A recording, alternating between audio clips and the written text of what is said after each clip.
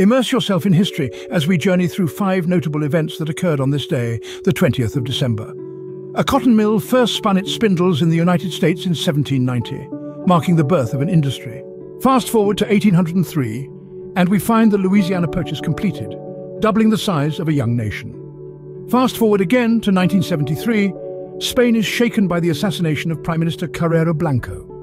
The world stage shifted once more in 1989 when the United States deposed Manuel Noriega, invading Panama in the process. And finally we land in 2007, where Queen Elizabeth II became the oldest monarch in the history of the United Kingdom. Intrigued? Good. History has so much more to offer. Show some love with a like, share the knowledge, and subscribe to this channel to continue this fascinating journey through time.